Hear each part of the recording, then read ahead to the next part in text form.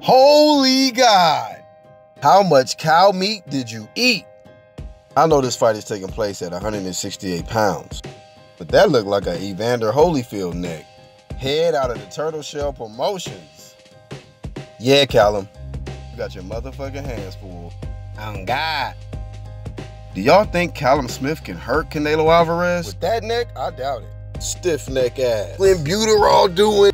Cow meat chewing. Canelo Alvarez neck challenge should be in full effect. Who can come out with the swollest neck? Post it on your IG, YouTube, Facebook. The homie One Two Kid found this one right here. Shout out to Canelo Alvarez starting trends, man. The Swole Neck Challenge is in full effect. Best of luck to all the contestants that get involved. And once again, remember safety first.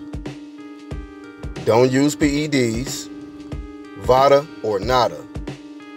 Stay clean, my friends.